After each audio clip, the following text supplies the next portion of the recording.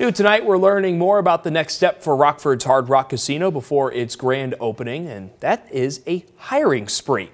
Weeks ago, we got an inside look at the Hard Rock's progress that you're seeing a recap of right now.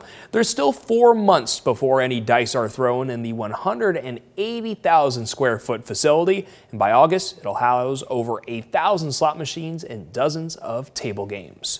But now we're meeting the people who will call the casino their office.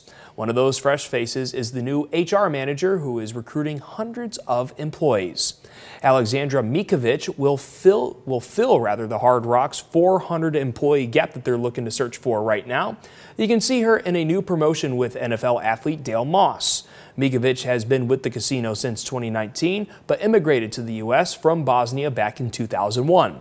The new manager shares with us what's inspired her career path did not speak any English. We did not know um, how life here would go. So again, just like my parents did, they worked really hard and saw other individuals like myself in positions of power. So, you know, my first thing was like, hey, if they can do it, I can do it. And I'm a part of an organization that will help me get there.